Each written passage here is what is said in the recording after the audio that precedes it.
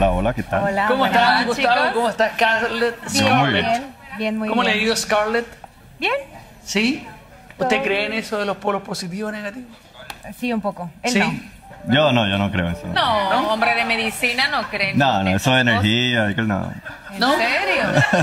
no, yo respeto a las ¿Lo? personas que creen eso, ¿no? Pero yo No, lógico, no, no, yo también. Yo, pero fuera la tensión romántica porque hay celos. ¿O no?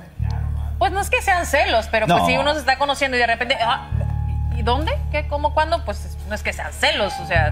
No, como pero que estamos en grupo, Uno o sea- siente desinterés. Pero no.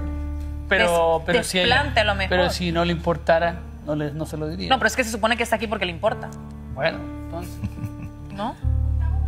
algo hay. Scarlett. Regrese al palco. Scarlett, usted está sola por acá, pero quizás llama a un hombre sin amigos eh, que quiera conocerla.